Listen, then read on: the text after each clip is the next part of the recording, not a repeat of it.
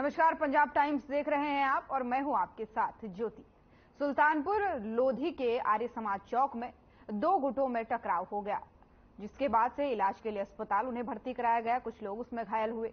रोहन हंस पुत्र सुखजीवन हंस मोहल्ला ऋषिनगर ने बताया कि सब्ज़ी लेने के लिए आर्य समाज चौक हो गया था। जब वो सब्ज़ी लेकर थोड़ा आगे बढ़ा तो वहाँ पर कुछ हथियार बंद युवकों ने जानलेवा हमला उस पर कर दिया। रोहन हंस की हालत गंभीर बनी हुई है। इलाज के लिए कपूरथला के सिविल अस्पताल में उन्हें रेफर कर दिया गया है बताया जा रहा है कि युवक पर बेरहमी से तेजदार हथियारों से वार किए गए फिलहाल पुलिस मामले की जांच कर रही है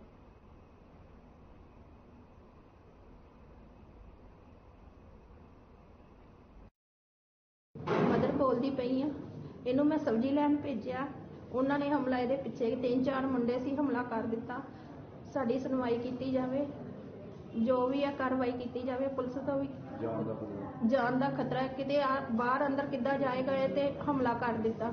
ਤੇ ਪੁਲਿਸ ਨੇ ਇਹਦੀ ਸ਼ਿਕਾਇਤ ਕੀਤੀ? ਪੁਲਿਸ ਨੂੰ ਸ਼ਿਕਾਇਤ ਕੀਤੀ। ਤੇ ਪੁਲਿਸ ਮੌਕੇ ਤੇ ਆਈ ਹੈ?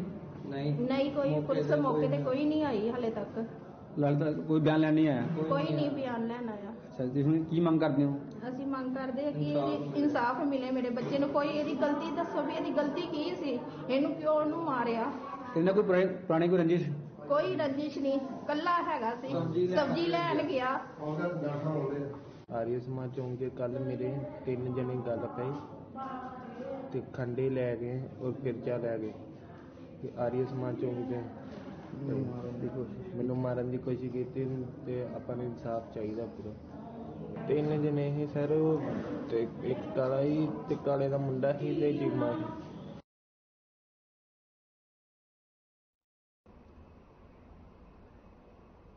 लुधियाना में हिंदुस्तानी आवाम मोर्चा पार्टी की बैठक हुई। बैठक में वरिष्ठ नेताओं ने हिस्सा लिया। इस मौके पर राजकुमार को लुधियाना महिला विंग का अध्यक्ष नियुक्त किया गया। आपको बता दें कि इस मौके पर जो ये बैठक हुई थी, इस मौके पर राजकुमारी ने लोगों को संबोधित करते हुए कहा कि पुरानी पार्टियों में भ्रष्टाचार पैदा हुआ। खत्म करने के लिए हमारी पार्टी अब प्रयास करेगी।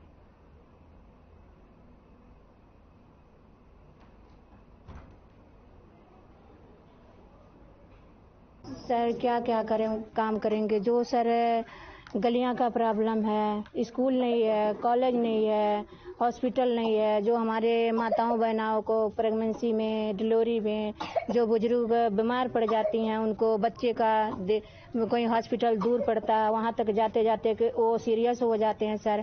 वो कोई सुविधाएँ नहीं हमारे मोहल्ले में है सर। ये सब का मैं आगे का आप लोग से मांग कर रही हूँ, सरकार से मांग कर रही हूँ। और इसके लिए हम डीएम के पास जाएंगे कलेक्टर के पास जाएंगे जहाँ जहाँ हमको जाना पड़ेगा हम अपने समाज सेवा के लिए हम हाजिर होंगे सर हम हम अपने समस्या लेकर के हर जगह वहाँ जाएंगे और अगर उन्हों उन्होंने नहीं सुना तो हम और आगे जाएंगे सर ਮਕਸਦ ਇਹ ਹੈ ਜੀ ਹਿੰਦੁਸਤਾਨੀ ਵਾਮ ਮੋਰਚਾ ਵੱਲੋਂ ਇਹ ਬੀਬੀ ਰਾਜ ਕੁਮਾਰੀ ਜੀ ਨੂੰ ਜ਼ਿੰਮੇਵਾਰੀ ਦਿੱਤੀ ਗਈ ਆ ਤੇ ਇਹ ਜ਼ਿੰਮੇਵਾਰੀ ਦਿੱਤੀ ਗਈ ਆ ਵੀ ਇਹ ਆਪਣੇ ਇਲਾਕੇ ਦੇ ਕੰਮ ਜਿਹੜੇ ਉਹ ਕਰਵਾ ਸਕਣ, ਆਪਣੇ ਗਲੀ ਮੁਹੱਲੇ ਦੇ ਕੰਮ ਜਿਹੜੇ ਉਹ ਜਨਤਾ ਦੇ ਕਰਵਾ ਸਕਣ। ਇਹਨਾਂ ਨੂੰ ਜ਼ਿਲ੍ਹਾ ਜ਼ਿੰਮੇ, ਅਹ, ਜ਼ਿਲ੍ਹੇ ਵਾਸਤੇ ਜ਼ਿੰਮੇਵਾਰੀ ਦਿੱਤੀ ਗਈ ਹੈ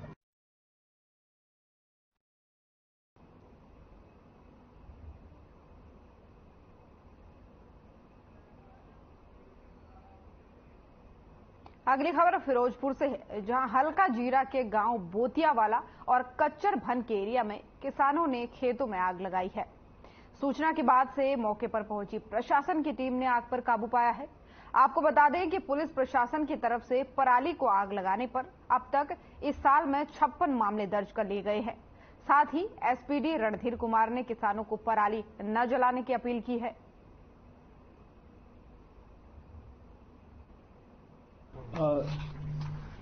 ਜਿਵੇਂ ਕਿ ਸਿਵਲ ਪ੍ਰਸ਼ਾਸਨ ਨਾਲ ਅਸੀਂ ਰਲ ਮਿਲ ਕੇ ਕਿਸਾਨ ਭਰਾ ਨੂੰ ਇਹ ਅਸੀਂ ਪਹਿਲਾਂ ਵੀ ਅਪੀਲ ਕੀਤਾ ਸੀ ਤੇ ਹੁਣ ਵੀ ਕੀਤਾ ਹੈ। ਉਹ ਅਪੀਲ ਦਾ ਇਹ ਜਿਹੜਾ ਰਿਜ਼ਲਟ ਨਿਕਲਿਆ ਹੈ ਕਿ ਹੁਣ ਪਰਾਲੀ ਦੇ ਮਸਲੇ ਕਾਫੀ ਘੱਟ ਨੇ। ਬਟ ਜਿਹੜੇ ਕੇਸਿਸ ਵਿੱਚ ਪਰਾਲੀ ਦੀ ਅੱਗ ਜਲ ਰਹੀ ਹੈ ਜਾਂ ਸਾੜੀ ਜਾ ਰਹੀ ਹੈਗੀ, ਤੇ ਹੁਣ ਤੱਕ 2023 ਵਿੱਚ ਹੁਣ ਤੱਕ 56 ਮੁਕਦਮੇ ਦਰਜ ਕੀਤੇ ਗਏ ਹਨ ਤੇ ਕੱਲ 11 ਮੁਕਦਮੇ ਦਰਜ ਕੀਤੇ ਗਏ ਸੀ। ਬਟ ਸਾਡਾ ਪ੍ਰਯਾਸ ਆਹ ਹੈ ਕਿ ਸਾਰੀ ਬਿੰਤੀ ਵੀ ਆਏ ਹੈ ਅ, ਕਿਸਾਨ ਭਰਾ ਤੋਂ ਕਿ ਜਿਹੜੇ ਖੇਤੀਬਾੜੀ ਮਹਿਕਮੇ ਵੱਲੋਂ ਜਿਹੜੀ ਸਪੈਸ਼ਲਾਈਜ਼ਡ ਮਸ਼ੀਨਰੀ ਦਿੱਤੀ ਗਈ ਹੈ ਉਹ ਮਸ਼ੀਨਰੀ ਦਾ ਯੂਜ਼ ਕਰਨ ਪਰਾਲੀ ਸਾੜਨ ਵਿੱਚ ਤੇ ਜਿਹੜਾ ਉਹ ਉਹ ਮਸ਼ੀਨ ਦਾ ਯੂਜ਼ ਕਰਕੇ ਪਰਾਲੀ ਦਾ ਨਿਪਟਾਰਾ ਕਰਨ ਤਾਂ ਉਹਨੂੰ ਸਾੜਨ ਨਾ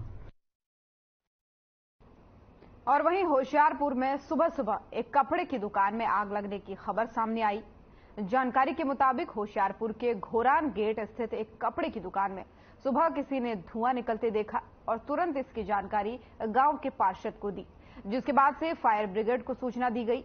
वहीं मौके पर पहुँचे फायर ब्रिगेड कर्मचारी ने बताया कि अगर थोड़ी भी देर और होती तो इस आग से पूरे बाज़ार को खतरा हो सकता था। उन्होंने बताया कि तीन बड़ी दमकल की गाड़ियों ने आग पर काबू पाया। फ़िलहाल आग लगने के कारणों का अभी तक पता नहीं चल पाया है।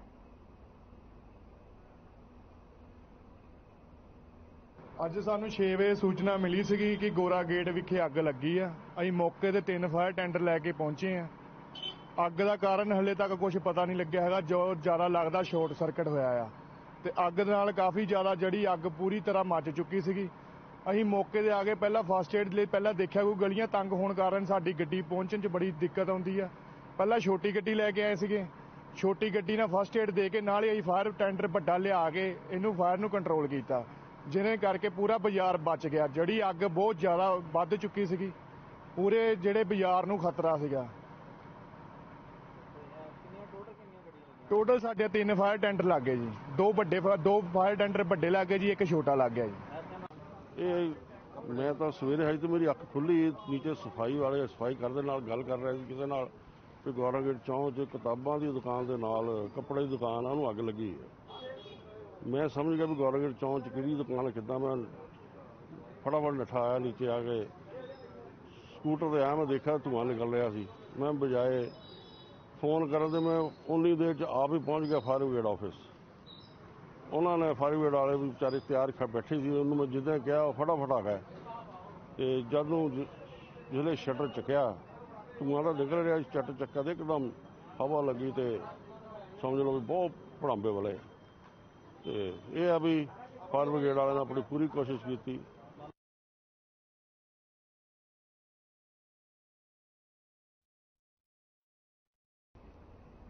मालेर कोटला के मदेवी गांव के रहने वाले कुलवंत सिंह इंसानियत की मिसाल बने हुए हैं आपको बता दें कि कुलवंत सिंह अपने पिता की आखिरी निशानी एक बूढ़े बैल का खूब ध्यान रख रहे हैं कुलवंत सिंह ने बताया कि उनके पिता ने उनसे कहा था मरने से पहले कि ये बैल बहुत ही किस्मत वाला है। इसकी बदौलत आज हम कोठियों के मालिक बने हुए हैं।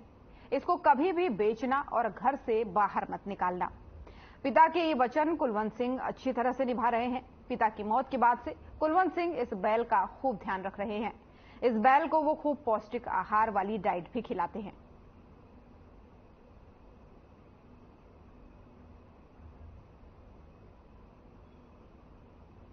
ਤੇ ਆਪਣੇ ਬਾਪੂ ਨੇ ਕਹਿਤਾ ਸੀ ਮੈਨੂੰ।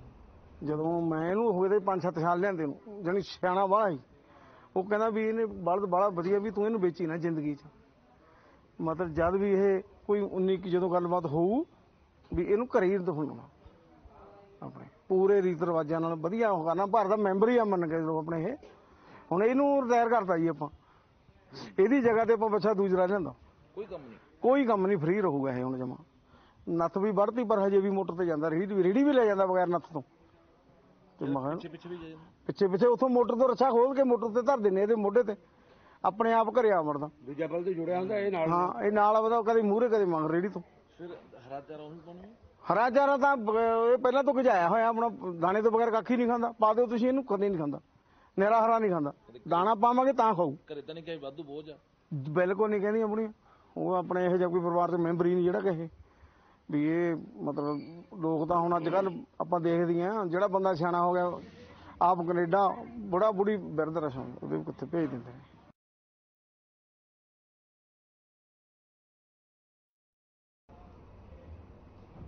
राजपुरा में पुलिस द्वारा चलाए गए नशा विरोधी अभियान को उस वक्त बड़ी सफलता हाथ लगी जब सदर पुलिस ने एक व्यक्ति को एक किलो अफीम के साथ गिरफ्तार किया डीएसपी राजपुरा सुरेंद्र मोहन ने बताया कि एसएसपी पटियाला वरुण शर्मा और हरबीर सिंह अटवाल एसपी इन्वेस्टिगेशन पटियाला के दिशा निर्देशों के अनुसार थाना सदर राजपुरा के मुख्य अधिकारी इंस्पेक्टर कृपाल सिंह के नेतृत्व में सदर पुलिस राजपुरा ने एक किलो अफीम सहित एक आरोपी को गिरफ़्तार करने में सफलता हासिल की है। उन्होंने बताया कि 16 नवंबर को दोपहर करीब बारह बजकर पंद्रह मिनट पर एएसआई हरजिंदर सिंह सहित पुलिस पार्टी लिंक रोड से होते हुए एक गाँव उक्सी सोनिया और जीटी रोड और गाँव उपलहेड़ी की ओर जा रहे थे। तभी राजपुरा की तरफ़ से एक व्यक्ति जो पैदल चलकर आ रहा था, जब उस व्यक्ति से गहनता से पूछताछ की गई तो उसने अपना नाम इस पूछताछ के दौरान जाकिर अली, पुत्र सुब्रती शाह, जिला बरेली, उत्तर प्रदेश बताया, जिसके विरुद्ध आरोपी को माननीय अदालत ने दो दिन की पुलिस हिरासत में भेज दिया है। और जिससे मामले में और भी खुलासे होने की उम्मीद है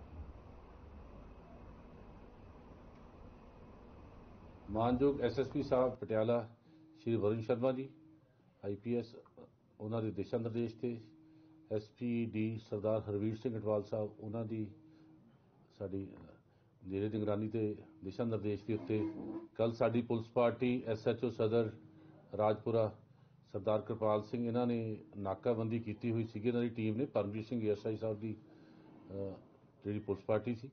ਇਹਨਾਂ ਨੇ ਕੱਲ ਜੀਟੀ ਰੋਡ ਦੇ ਉੱਤੇ ਉਕਸੀ ਜੱਟਾ ਮੋੜ ਦੇ ਕੋਲ ਇੱਕ ਬੰਦੇ ਨੂੰ ਕਾਬੂ ਕੀਤਾ ਤੇ ਉਹਦਾ ਨਾਮ ਜ਼ਾਕਰ ਅਲੀ ਹੈ, ਪਿੱਛੋਂ ਬਰੇਲੀ ਦਾ ਰਹਿਣ ਵਾਲਾ ਹੈ। ਉਹਦੇ ਹੱਥ 'ਚ ਫੜੇ ਇੱਕ ਬਲੈਕ ਕਲਰ ਦੇ ਬੈਗ ਦੇ ਵਿੱਚ, ਲਿਫਾਫੇ ਦੇ ਵਿੱਚ ਚੈੱਕ ਕਰਨ ਤੇ 1 ਕਿਲੋ ਅਫੀਮ ਬਰਾਮਦ ਹੋਈ ਹੈ ਜੀ। ਉਹ ਅਫੀਮ ਜਿਹੜਾ ਹੈਗਾ, ਇਹ ਬਰੇਲੀ ਤੋਂ ਲੈ ਕੇ ਆਇਆ ਸੀ। ਤੇ ਅੱਗੇ ਲੁਧਿਆਣੇ ਲੈ ਕੇ ਜਾ ਰਿਹਾ ਸੀ। ਇਹਦੇ ਖਿਲਾਫ ਐਫ ਆਈ ਆਰ ਦਰਜ ਕਰਕੇ ਇਹਦੀ ਅੱਗੇ ਪੁੱਛਗਿੱਛ ਕੀਤੀ ਜਾ ਰਹੀ ਹੈ। ਇਹ ਬੰਦਾ ਪਹਿਲਾਂ ਵੀ ਇਸ ਚੱਕਰ ਦੇ ਵਿੱਚ ਕਈ ਚੱਕਰ ਲਾ ਚੁੱਕਿਆ ਤੇ ਜਿਹੜੀ ਇਹਦੀ ਪ੍ਰੋਪਰ ਹੁਣ ਇੰਟਰੋਗੇਸ਼ਨ ਹੈ, ਇਹਦਾ ਰਿਮਾਂਡ ਲਿਆ ਗਿਆ ਤੇ ਉਹ ਕੀਤੀ ਜਾਏਗੀ। ਇਹਦੇ ਜਿਹੜੇ ਵੀ ਬੈਕਵਰਡ ਤੇ ਫਾਰਵਰਡ ਲਿੰਕਸ ਹੈਗੇ ਨੇ, ਉਹਨਾਂ ਤੇ ਵੀ ਕਾਰਵਾਈ ਕੀਤੀ ਜਾਊਗੀ ਤੇ ਅੱਗੇ ਇਨਵੈਸਟੀਗੇਸ਼ਨ ਜਾਰੀ ਹੈ।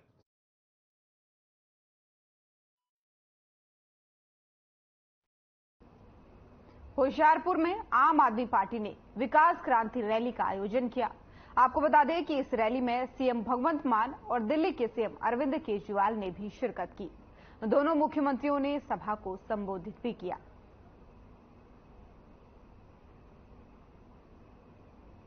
ਤੇ ਤੁਹਾਡਾ ਘਰੋਂ ਪਹਿਲਾ ਕਦਮ ਜਦੋਂ ਪੁੱਟਿਆ ਸੀ ਉਹੀ ਸਮਝ ਲਓ ਪੰਜਾਬ ਦੀ ਤਕਦੀਰ ਬਦਲਣ ਲਈ ਚੁੱਕਿਆ ਹੋਇਆ ਕਦਮ ਉਹਨੂੰ ਮੰਨਿਆ ਕਰੋ। ਸੋ ਅੱਜ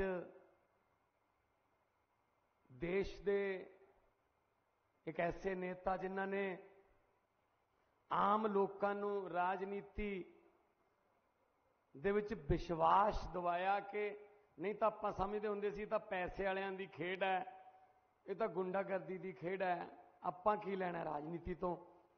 ਪਰ ਇੱਕ ਐਸਾ ਨੇਤਾ ਜਿਨੇ ਆਮ ਲੋਕਾਂ ਨੂੰ ਕਿਹਾ ਕਿ ਨਹੀਂ, ਵਿਧਾਨ ਸਭਾ, ਲੋਕ ਸਭਾ, ਮੰਤਰੀ, ਮੁੱਖ ਮੰਤਰੀ ਦੀਆਂ ਕੁਰਸੀਆਂ ਤੁਹਾਨੂੰ ਵੀ ਉਡੀਕਦੀਆਂ ਨੇ। ਤੁਸੀਂ ਇੱਕ ਵਾਰੀ ਬਾਹਰ ਤਾਂ ਨਿਕਲੋ, ਇੱਕ ਵਾਰੀ ਤੁਸੀਂ ਨਾਰਾ ਤਾਂ ਲਾਓ ਇਨਕਲਾਬ ਦਾ। ਸੋ ਮੇਰੀ ਮੁਰਾਦ ਹੈ ਅਰਵਿੰਦ ਕੇਜਰੀਵਾਲ ਜੀ, ਦੇਸ਼ ਦੇ ਕ੍ਰਾਂਤੀਕਾਰੀ ਨੇਤਾ ਜਿਨ੍ਹਾਂ ਨੇ ਦਸ਼ਾ ਤੇ ਦਿਸ਼ਾ ਰਾਜਨੀਤੀ ਦੀ ਬਦਲ ਕੇ ਰੱਖਤੀ। ਅੱਜ ਸਾਡੇ ਦਰਮਿਆਨ ਹੁਸ਼ਿਆਰਪੁਰ ਚ ਪਹੁੰਚੇ ਨੇ। ਮੈਂ ਪੰਜਾਬ ਦੀ ਧਰਤੀ ਤੇ ਨਿੱਘਾ ਸਵਾਗਤ ਕਰਦਾ ਜੀ। ਔਰ ਸਾਡੇ ਰਾਜ ਸਭਾ ਦੇ ਦੋ ਮੈਂਬਰ, ਸੰਦੀਪ ਪਾਠਕ ਜੀ, ਰਾਘਵ ਚੱਡਾ ਜੀ, ਮੇਰੀ ਕੈਬਨਿਟ ਦੇ ਸਾਥੀ ਔਰ ਮੇਰੇ ਡੈਮੋਕ੍ਰੈਟਿਕ ਤਰੀਕੇ ਨਾਲ ਭਾਰੀ ਵੋਟਾਂ ਨਾਲ ਤੁਸੀਂ ਜਿਤਾਏ ਹੋਏ ਸਾਰੇ ਐਮਐਲਏ ਸਹਿਬਾਨ, ਮੇਰੇ ਸਾਹਮਣੇ ਮੇਰੀ ਪਾਰਟੀ ਦੇ ਬਹੁਤ ਹੀ ਮਾਣਯੋਗ, ਸਤਿਕਾਰਯੋਗ ਵਲੰਟੀਅਰਸ ਚੇਅਰਮੈਨ ਔਰ ਜਿਸ ਦਰਜਾ ਬਾ ਪਾਰਟੀ ਦੀ ਸੇਵਾ ਕਰਨ ਵਾਲੇ ਸਾਰੇ ਬੈਠੇ ਹੋ। ਤੁਹਾਨੂੰ ਸਾਰਿਆਂ ਨੂੰ ਮੇਰੇ ਵੱਲੋਂ ਪਿਆਰ ਭਰੀ ਸਤਿ ਸ੍ਰੀ ਅਕਾਲ। ਵਾਹਿਗੁਰੂ ਜੀ ਕਾ ਖਾਲਸਾ। ਵਾਹਿਗੁਰੂ ਜੀ ਕੀ ਫਤਿਹ। ਅੱਜ ਕੋਈ ਸ਼ਕਤੀ ਪ੍ਰਦਰਸ਼ਨ ਨਹੀਂ ਕਰਨਾ ਏ ਕਿ ਸਾਡੇ ਨਾਲ ਇੰਨੇ ਲੋਕ ਨੇ ਜੀ ਰੈਲੀ ਕਰ ਦਈਏ। ਅੱਜ ਕੋਈ ਰਾਜਨੀਤਿਕ ਨਿੰਦਿਆ ਚੁਗਲੀਆਂ ਨਹੀਂ ਕਰਨਾ ਏ ਕਿ ਉਹ ਐਂ ਕਹਿੰਦੇ ਨੇ ਜੀ, ਉਹਨਾਂ ਨੇ ਐਂ ਕਰਤਾ ਜੀ। ਅੱਜ ਤਾਂ ਇਹ ਦੱਸਣ ਆਏ ਆ ਕਿ ਪੌਣੇ ਕ 2 ਸਾਲ ਹੋ ਗਏ, ਹੁਣ ਸੀਨਾ ਚੌੜਾ ਕਰਕੇ ਸਾਡੇ ਵਲੰਟੀਅਰ ਆਪਣੇ ਮੁਹੱਲਿਆਂ 'ਚ, ਆਪਣੇ ਪਿੰਡਾਂ ਜਾਂਦੇ ਨੇ। ਕਿਉਂ? ਹੋ ਰਹੇ ਨੇ ਨਾ ਕੰਮ। ਐਂ ਕਹਿਣ।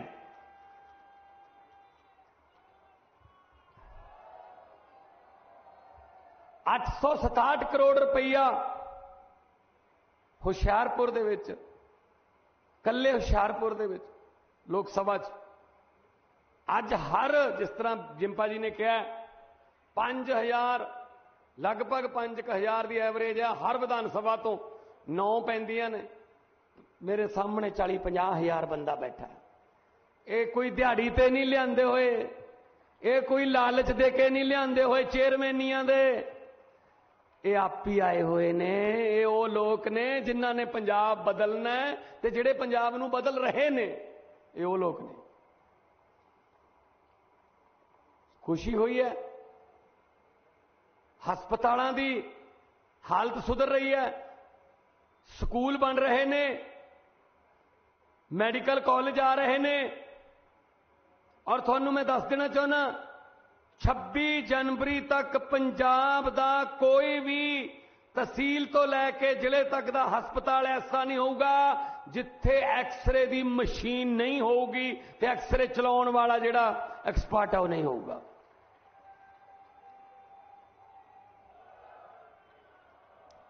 ਛੱਬੀ ਜਨਵਰੀ ਤੱਕ ਆਰਡਰ ਕਰ ਦਿੱਤੇ ਗਏ ਨੇ।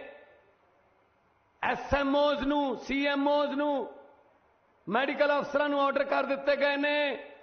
26 ਜਨਵਰੀ ਤੱਕ ਆਰਡਰ ਕਰ ਦਿਓ ਜਿਹੜੀਆਂ ਜਿਹੜੀਆਂ ਦਵਾਈਆਂ ਜ਼ਿਆਦਾ ਤੁਸੀਂ ਲਿਖਦੇ ਹੋ।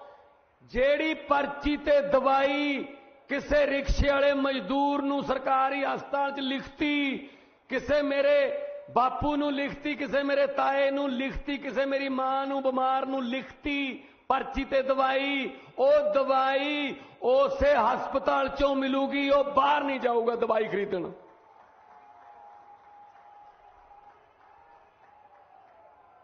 ਇਹ ਆਰਡਰ ਕਰ ਦਿੱਤੇ ਗਏ ਨੇ ਜੀ।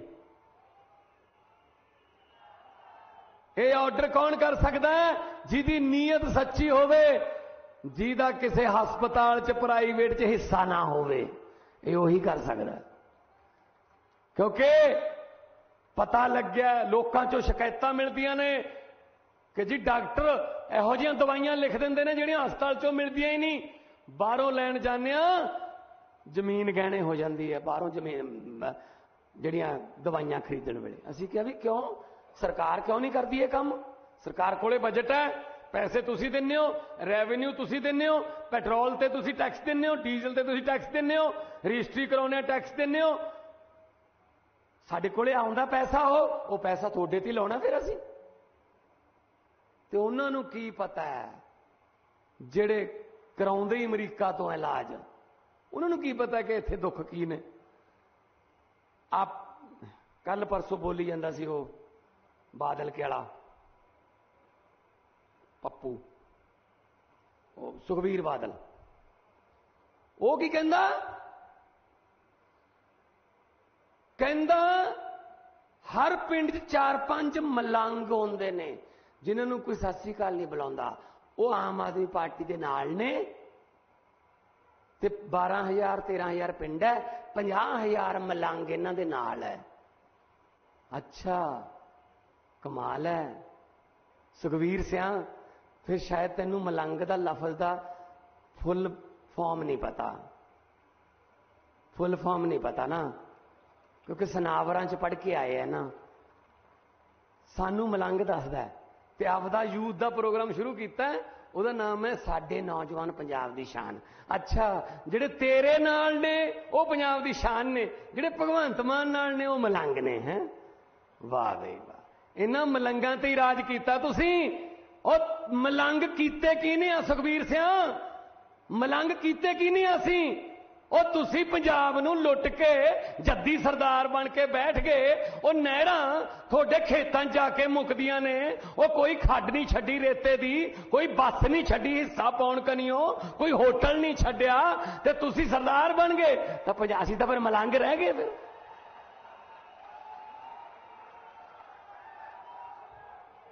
ਅਸੀਂ ਤਾਂ ਮਲੰਗ ਰਹਿ ਗਏ ਨਾ ਫਿਰ। ਇਹੋ ਜਿਹੇ ਬੰਦਿਆਂ ਨੂੰ ਸ਼ਰਮ ਆਉਣੀ ਚਾਹੀਦੀ ਹੈ ਯਾਰ। ਵੋਟਾਂ ਪਾਈ ਗਏ ਯਾਰ ਕਿੰਨੇ ਸਾਲ? ਪਾਣੀ ਵੇਚ ਕੇ ਖਾ ਗਏ, ਬਾਣੀ ਵੇਚ ਕੇ ਖਾ ਗਏ। ਇੱਕ ਤਰੀਕ ਨੂੰ ਆਉਂਦੇ ਫਿਰ ਉੱਥੇ? ਲੁਧਿਆਣੇ ਆਏ ਕਿਉਂ ਨਹੀਂ? ਲੁਧਿਆਣੇ ਕਿਉਂ ਨਹੀਂ ਆਏ? ਕੁਰਸੀਆਂ ਖਾਲੀ ਸੀ। ਆਏ ਕਿਉਂ ਨਹੀਂ? ਕਿਹੜੇ ਮੂੰਹ ਨਾਲ ਆਉਂਦੇ? ਇੱਕੋ ਉਹਨਾਂ ਦੀ ਧਰਮ ਪਤਨੀ, ਨੰਨੀ ਸ਼ਾਹ। ਉਹ ਵੀ ਖੜੀ ਸੀ ਇੱਕ ਝੋਨੇ ਦੇ ਖੇਤ 'ਚ। ਮੈਂ ਕਿਹਾ, ਸ਼ੁਕਰ ਹੈ ਸ਼ੁਕਰ ਹੈ ਝੋਨੇ ਦੇ ਖੇਤਾਂ 'ਚ ਖੜ ਲੱਗੇ ਨੇ। ਨਹੀਂ ਤਾਂ ਕਾਲੀਆਂ ਇਨਕਾਂ 'ਚ ਨਜ਼ਰ ਹੀ ਨਹੀਂ ਆਉਂਦਾ ਸੀ ਝੋਨਾ ਕਿਹੜੇ ਰੰਗ ਦਾ ਉਹ ਸਾਨੂੰ ਦੱਸੀ ਜਾਂਦੀ ਸੀ, ਉਹ ਪੰਜਾਬੀਆਂ ਨੂੰ ਦੱਸੀ ਜਾਂਦੀ ਸੀ ਤੇ ਉਹਦੀ ਪੰਜਾਬੀ ਸੁਣਨ ਵਾਲੀ ਸੀ। ਇਹ ਝੋਨਾ ਇਹ ਉਹਦੀ ਪਰਾਲੀ ਹੈ ਇਹ ਪਰਾਲੀ ਨੂੰ ਅੱਗ ਲਗਾਉਂਦੇ ਨੇ, ਇਹ ਕੇਜਰੀਵਾਲ ਭਗਵੰਤ ਮਾਨ ਹੈ। ਲੈ ਭਗਵੰਤ ਮਾਨ ਨਹੀਂ, ਮੈਂ ਕਿਹਾ ਭਗਵੰਤ ਮਾਨ ਹੈ। ਪੱਬਾ ਪੜਿਆ ਕਰੋ। ਕਦੇ ਪੱਪਾ ਫੱਫਾ ਬੱਬੇ ਭੱਬੇ ਵਾਲੀ ਲਾਈਨ ਪੜੀ ਹੋਵੇ ਊੜੇ ਆਰੇ ਵਾਲੇ ਕਾਇਦੇ 'ਚ, ਤਾਂ ਪਤਾ ਲੱਗੇ।